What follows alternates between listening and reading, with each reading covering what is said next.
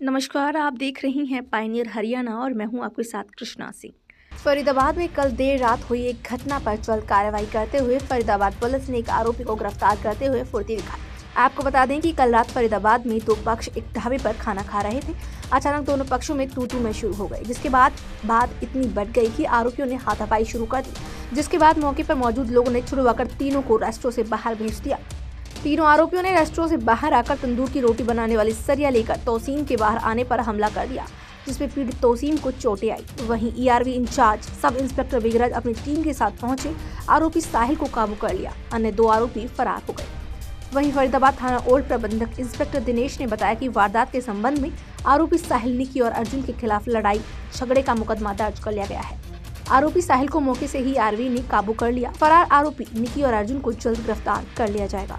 वहीं पुलिस प्रवक्ता सूबे सिंह ने जानकारी देते हुए बताया कि आरोपियों ने खुदा मार्केट सेक्टर 18 के एरिया कार्तिक रेस्टोरेंट के पास तीन बदमाशों ने एक युवक को तंदूर से रोटी सेकने वाले सरिया से पीड़ित के हाथ पैरों पर चोट मारी। ये रात करीब नौ बजे की घटना है। हुड्डा मार्केट है, सेक्टर अठारह, उसके पीछे कार्तिक ढाबा है। और उस ढाबे में दो पक्ष खाना खा रहे थे। जिसमें से जिसको चोट लगी है, वसीम ये और जो दूसरे जो लोग थे साहिल, अर्जुन और निक्की ये लोग भी वहाँ पे चले गए थे। इनकी आपस में थोड़ी देर के लिए तोतु में हुई। एक दूसरे को जानते हैं ये सभी। और उस तोतु में के बाद इनकी हाथापाई हो गई और वहाँ पे लोगों ने छूट छड़ावा करा दिया। फिर ये वहाँ ढाबे से बाहर निकल गए। तो ये जो आरोपी अर्जुन निक्की और साहिल हैं, इन्होंने वहाँ जो तंदूर में से जो होती है, निकालने की जो, रोटी निकालने की जो होती है, लोहे की सीख जैसी होती हैं, वो लेके निकले बाहर और फिर जब ये जिसको चोट लगी है तोसिम, इसको बाहर निकला, तब इसके साथ उसी के साथ हमला किया है इन्होंने। वो मौके पर पुलिस की ई आर भी पहुँच गई थी हमारी एक सौ इक्यासी और एक सौ तिरासी तो वहीं से आरोपी को काबू कर लिया है। और आरोपी को जो ए आर वी एक सौ इक्यासी जो हमारी डायल वन वन टू है, वो थाना लेकर आई और जो दूसरे ए आर वी है हमारी वन एटी थ्री वो घायल को हॉस्पिटल लेकर गई।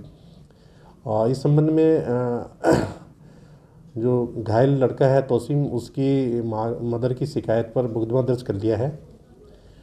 एक आरोपी को अरेस्ट कर लिया है। अन्य दो आरोपी हैं उनको भी जल्द अरेस्ट कर लिया जाएगा। उनकी पहचान हो चुकी है और ये आपस में एक दूसरे को जानते हैं और एक दूसरे के ये पहले दोस्त रहे हैं। अभी इनकी किसी बात पे तू में हुई है। किस बात को लेकर झगड़ा हुआ था? बस यही ये दोनों ही पक्ष वैसे तो आवारा टाइप के हैं। इनके खिलाफ जो अर्जुन और निकी और ये हैं इनके खिलाफ पहले भी ओल्ड थाना में जो लड़ाई झगड़े के या इस तरह के जो मुकदमे दर्ज हैं जो दूसरा पक्ष है वो भी ऐसे ही है। तो इनका आपस में यही रहता होगा बच्चों भाई मैं यहाँ इस एरिया का दादा हूँ मैं उस एरिया का दादा हूँ। आए दिन लाठी डंडे चलते हैं फरीदाबाद में तो एक जो फरीदाबाद वासी हैं डर का माहौल बना रहता है। फरीदाबाद निवासियों के साथ फरीदाबाद पुलिस है और इस तरह की कोई भी जो घटना होती है तुरंत ही मौके पे पुलिस कार्रवाई करती है। अभी आपने देखा कि जैसे पुलिस ने ही इनको अरेस्ट किया वहाँ पे मौके पे और पुलिस ही घायल को हॉस्पिटल लेके गई है। हमारी जो डायल वन वन टू है, वो मुस्तैद है।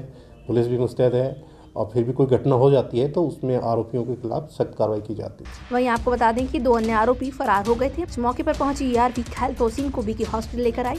ईआरवी आरोपी साहिल को काबू करके थाना ओल्ड में लेकर गई। पीड़ित की माँ के बयान पर तीनों आरोपियों के खिलाफ मुकदमा दर्ज कर लिया गया है। राष्ट्रीय समाचार पत्र पाइनियर हरियाणा पढ़ने के लिए डाउनलोड करें हमारी वेबसाइट पर प्रकाशित ई पेपर दिन भर की तमाम छोटी बड़ी खबरें देखने के लिए सब्सक्राइब करें हमारे यूट्यूब चैनल को। वीडियो को लाइक, शेयर और कॉमेंट करना न भूलें।